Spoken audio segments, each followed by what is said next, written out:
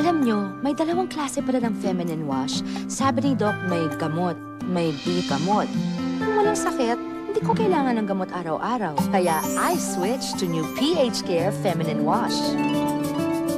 With the right pH level of 5, tamang-tama ang pH Care for daily use. Kaya sa pH Care, no need to worry. O dapat extra care, ha? Kasi may partner na tayo. Kaya pH Care every day.